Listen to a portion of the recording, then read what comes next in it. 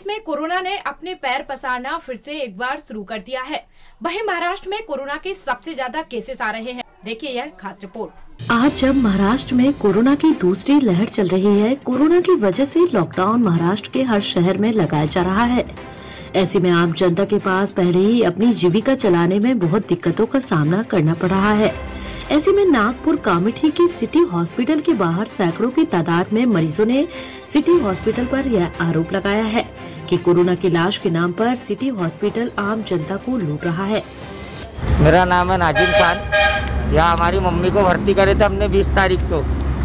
20 तारीख को भर्ती करने के बाद दो, बाईस तारीख को हम डिस्चार्ज मांगे।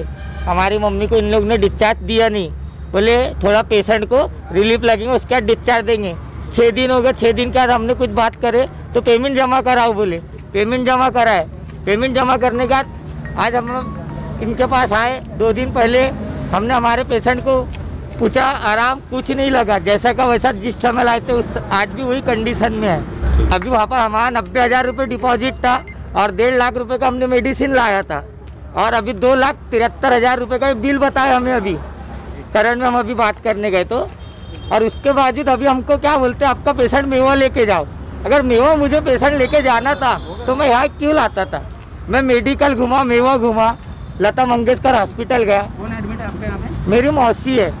क्या नाम है आपके मौसी? का? सफिया हुसैन। उम्र उनकी? उनकी उम्र होगी बावन साल। बिल दिए क्या एक भी बिल नहीं दिए ना ओरिजिनल बिल है ना ऐसी जिराक्स से बिल की। अच्छा आपके में मम्मी के ऊपर जो ट्रीटमेंट कर रहे थे वो डॉक्टर का क्या नाम है? वो डॉक्टर तो वहाँ मुझे एक भी नहीं लगा जिस दिन से हमने लाए है वहाँ पर सिर्फ़ अंदर रखे हैं और वहाँ पर सब मास्क पे दिखते तो हमको कोई नहीं मालूम कौन डॉक्टर है कौन क्या है। मैं संजय मेश्राम, पीली नदी रहता हूँ और सिटी हॉस्पिटल में मेरे मामा जी को भर्ती किया है। गुलाब दोनू जी रामटे के उनका नाम है। मैंने 20 तारीख 22 तारीख को शायद भर्ती किए थे उनको और भर्ती करने के दिन मैं यहाँ आया था। तो पेशेंट मेरे बहुत अच्छे थे उस समय। उनका कोविड सिक्सटीन का था और मेरी बुआ को भी उसी समय भर्ती किया था। उनको फोर्टीन का कोविड था। ऐसा रिपोर्ट में थी। तो मैंने ये सारी रिपोर्ट उनको डॉक्टर को बताया तो डॉक्टर ने बोला, ठीक है जी, बोले, तुम्हारी बुआ बोले दो तीन दिन में ठीक हो जाएगी। तो उन्होंने, उनको आठ दिन में ठीक किया, उनका कम से कम एक लाख तीस हज़ार रुपये बिल निकाला, हमने सबमिट कर दिया। लेकिन मामा जी जो थे, वो बुआ से हमारे बहुत अच्छे थे। लेकिन उनकी आज ये हालत है कि वो बेड से उठ नहीं सकते हैं और बैठ नहीं सकते हैं। और आज उनका जो पेमेंट है, उन्होंने पेमेंट, हमने बोला कि, भाई, पेमेंट दिखाओ, कितना देना है, क्या देना है? तो ये उन्होंने ये चिट्ठी दिया है मुझे ये। एक लाख नयानवे हज़ार नौ सौ बयासी। रुपये की चिट्ठी दिया है। इसमें से मैंने नब्बे हज़ार रुपये भर चुके हैं इसमें से हमने। और बाकी ये इतने भरने हैं। ये हमको ऐसा बिल दिया जा रहा है। और हमने बोला भैया बिल दे दो। तो बोलते पहले पैसे ला दो उसके बाद में हम बिल देंगे। ऐसा ऐसा ये लोग कह रहे हैं। सिटी हॉस्पिटल जो है ये बकवास हॉस्पिटल है मुझे ऐसा लगता है। और मैंने क्योंकि मैं हम भी मैं बहुत सारे हॉस्पिटलों में जाता हूँ। गैस, जो ऑक्सीजन गैस का सप्लाई का काम करता हूँ मैं, मैंने कोविड के बहुत सारे जितने भी हॉस्पिटल्स नागपुर में हैं अच्छा हॉस्पिटल्स है, ऐसा हॉस्पिटल मैंने आज तक नहीं देखा कि ऐसा कोई बिल ऐसे कागज़ में लिख कर दे या उनसे बोलो तो उल्टी सीधी बात करे और पेशेंट को हमेशा एक धमकाने डराने वाली बात करते हैं कि हम तुम्हारे पेशेंट को बाहर फेंक देंगे, हम तुम्हारे पेशेंट को लेके जाओ, नहीं तो तुम हमारा बिल दे दो, जो करना है तुम कर लो, तुम्हारा पेशेंट ठीक नहीं हो रहा है। जब हमने यहाँ पेशेंट को लाया था तो बहुत अच्छे थे, बहुत चल रहे थे, घूम रहे थे, फिर रहे थे, लेकिन आज मेरा पेशेंट जो है वो एकदम बिस्तर पकड़ लिया है और और बिल भी इतना तीन लाख के करीब करीब निकाला है। तो मैं न्यूज़ चैनल से और प्रशासन से गुजारिश करूँगा कि भाई ये जो सिटी हॉस्पिटल है, इसके ऊपर में एक्शन लेना चाहिए और इसके ऊपर में जनता ने भी इसके ऊपर में बोलना चाहिए। मेरा नाम है नीलेश नानोटकर मैं एन से ना, नागपुर में कर्मचारी हूँ मेरे यहाँ पे रिलेटिव है कि अभी तक जो देख रहा हूँ मैं यहाँ पे कि जितने भी बिल्स आ रहे हैं ये आ रहे हैं सारी चीज़ें पूरी न्यूज़ के सामने है। तो मेरा बोलना इतना ही है कि जो गवर्नमेंट के जी आर अभी जो निकले हैं तो उसके हिसाब से ये लोग ले क्यों नहीं रही है? बस इसका एक जवाब चाहिए हमें। और दूसरी बात कि ये हॉस्पिटल में सिटी हॉस्पिटल में पच्चीस हज़ार रुपये पर डे के हिसाब से लोग ले रहे हैं और बाकी के इक्वलेंट जो भी हॉस्पिटल है नागपुर शहर के अंदर सुपर सेवन स्टार है दूसरी बात एलेक्सिस है यहाँ पे नौ हज़ार टोटल तेरह हज़ार रुपये पर डे के हिसाब से चल रहा है। तो ये हॉस्पिटल में जो भी प्रशासन जो भी काम कर रहे हैं लोग यहाँ के तहसीलदार पुलिस प्रशासन सबको घूस दे के ये सारे लोग यहाँ पे अपना धंधा गोरख धंधा बना के बैठे हैं।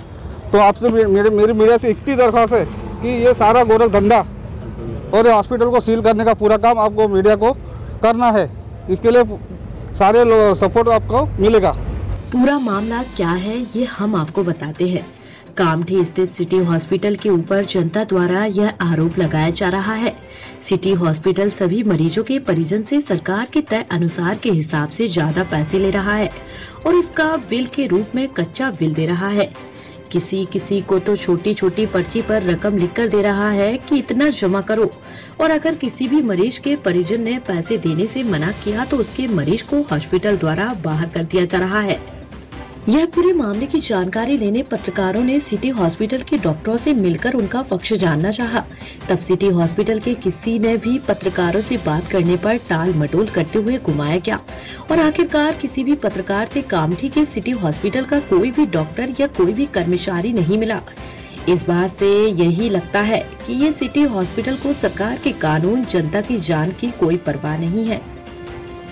सिटी हॉस्पिटल की यह लूट और लापरवाही तब सामने आई, जब एक पत्रकार ने खुद सामने आकर बताया कि सिटी हॉस्पिटल ने पत्रकार की माँ के इलाज के समय भी ऐसा ही किया। देखिए, तेईस तारीख को मैं यहाँ पर अपनी मम्मी को हॉस्पिटल में लाया। आईसीयू में बेड का अवेलेबल ना होने से मुझे सिटी हॉस्पिटल में किसी ने बताया कि एक बेड है। यहाँ पर मैंने जब लाया तो यहाँ नाटकीय रूपांतर के तौर पर हमने मैं यहाँ पर देखा। यहाँ पर पहले मम्मी को दो घंटा बिठाला गया, उसके बाद में चार पाँच घंटे के बाद में एक दलाल टाइप का जहाँ यहाँ पर उन्होंने रखा हुआ है, लतीफ़ रहमान। मैं डायरेक्ट नाम बता रहा हूँ। वो आया, मुझे देखा, बोले, यार, एक लाख रुपये भर दो। मम्मी को आप आईसीयू में डाल देंगे। ऐसा हो गया, वैसा तो मैंने सोचा, पैसा तो इतना नहीं है, मैं कुछ पैसा तीस जमा करता, कल और पैसे दे दूँ। लगातार मम्मी को लेके गया और आईसीयू में डालने के बाद में मम्मी की दो चार दिन तबीयत ठीक हो गई और होने के जैसा मम्मी ठीक होने के बाद इन्होंने पैसे मैं ना देते हुए रोज़ सुबह फ़ोन आता था आप पचास भर दो, एक लाख भर दो, नहीं तो मम्मी को हम बाहर निकाल देंगे। होने के बाद इन लोग ने मम्मी, मुझे फ़ोन किया कि भाई आपकी मम्मी की तबीयत बहुत ज़्यादा ख़राब हो चुकी है और आपको यहाँ आना है। तो मैंने आया तो जो तोसी इंजेक्शन होता है, उन्होंने मुझे बिना पूछे, जैसे कहते हैं कि तोसी लगाने के पहले पैर, जो उनके पिता, लड़के या फिर कोई भी रिलेटिव, उनकी सिग्नेचर लिया जाता है। लेकिन मेरी कोई भी किसी तरह की सिग्नेचर नहीं, ना मुझसे बात किया गया और उसको देखकर मेरी मम्मी को तोसी लगाया गया। दूसरी बात, उन्होंने मुझे, जिस दिन मैंने डिस्चार्ज लिया, मम्मी को मैंने लता मंगेशकर मेडिकल में भर्ती किया गया तो ये बिल देखिए आप। ये ये मुझे बिल दिया गया और ये बिल ऐसा दिया गया कि जिस तरह से इसमें ना किसी प्रकार का, इसमें किसी प्रकार का बिल प्रिंटेड नहीं है। ये बिल किस तरह का दिया गया है, ये देखिए, और इसका पैसा देखिए, ग्यारह दिन का बीस हज़ार के हिसाब से दो लाख बीस हज़ार रुपये यहाँ से ले गए। एच आर यहाँ पर देखिए, लैब के पैसे देखिए, सत्रह हज़ार आठ सौ लैब के, यानी लैब का क्या सब टेस्ट किया गया? ग्यारह हज़ार, ग्यारह दिन के एक बीस हज़ार के हिसाब से दो लाख बीस हज़ार। आर्थिक लोग, ये देखिए, मैं लैब का भी आपको दिखाता हूँ कि भाई ये सारी मीडिया ये देखिए, ये पहला बिल ये दूसरा बिल ये ये तीनों मिला के अठारह हज़ार का ये बिल लैब का लिया गया।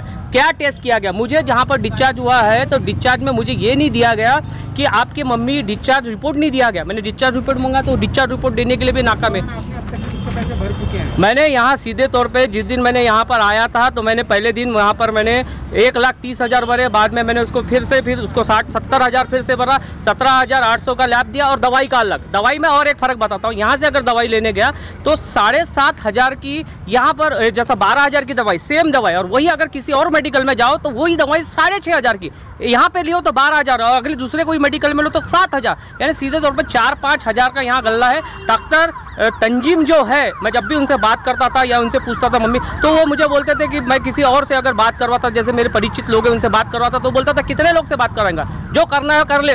टेबल ठोक ठोक के कई बार उन्होंने उखाड़ लूँगा, ऐसी बातें किया। तो डॉक्टर तंजीम इस तरह की बातें करते ये डॉक्टर है, ये डॉक्टर नहीं है, ये दलाल है, ये दलाल लोग है, हॉस्पिटल खोल के रखे। मैं जितने भी लोग अब मुझे देख रहे हैं, मैं तमाम लोगों से इतनी गुजारिश करता हूँ कि ये सिटी हॉस्पिटल यहाँ के जो तहसीलदार साहब है, जिस तरह से सूत्रों ने बताया, यहाँ के तहसीलदार साहब, यहाँ के अधिकारी लोगों को मिली भगत होने के कारण यहाँ पर इस हॉस्पिटल का बड़े बेकअप से ये धंधा चल रहा है। तो ये धंधा कौन बंद करेगा? माननीय कलेक्टर साहब से निवेदन है, माननीय आरोग्य विभाग से मुन्ने, माननीय राजा टोपे साहब से विनती है कि इस तरह का अगर ऐसा चलेगा तो कब तक ऐसे गरीब लोगों को लूटा जाएगा? मेरे जैसे पत्रकार, जो कि मैं कई साल से पत्रकार से, पंद्रह साल से पत्रकारिता कर रहा हूँ, पत्रकारिता का काम कर रहा हूँ, मुझे पंद्रह साल के जो आज मुझे ये मिला तोहफा सिटी हॉस्पिटल तो ये तोहफा तो बहुत अच्छा और मेरे जैसे गरीब लोगों को अगर लूटे तो फिर आप बताइए कि आप मीडिया वाले हो, कहाँ जाएँगे हम लोग? भुक्तभोगी इस पत्रकार ने स्थानीय पुलिस और तहसीलदार को सिटी हॉस्पिटल के खिलाफ उचित कार्रवाई करने के लिए ज्ञापन भी दिया।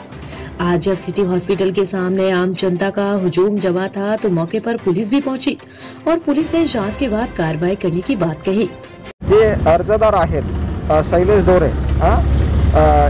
याबाबत काही आर्थिक लूट वगैरे झाली असेल तर हे जे निवेदन प्राप्त झाले आहे अ, त्यानुसार जी काही याच्यात खरंच त्यांची आर्थिक पिळवणूक झाली आहे किंवा नाही यासंबंधी जी कोणती अथॉरिटी आहे त्यांच्याकडे हा निवेदन पाठवून आणि त्यांच्या अर्जाबाबत चौकशी करायला लावणार आणि त्यांचं जे काही म्हणणं आहे ते मांडून या अर्जाचं निराकरण अब देखना ये होगा कि क्या पुलिस प्रशासन या तहसीलदार साहब इस हॉस्पिटल पर कोई कार्रवाई करते हैं या नहीं। क्या ये सिटी हॉस्पिटल की लूट और लापरवाही निरंतर ऐसी ही जारी रहेगी?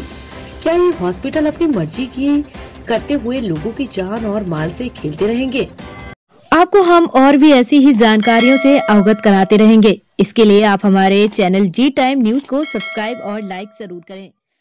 साथ ही आपको लगता है कि यह खबर, ये जानकारी और भी लोगों तक पहुँचना चाहिए तो कृपया इस खबर को आगे शेयर ज़रूर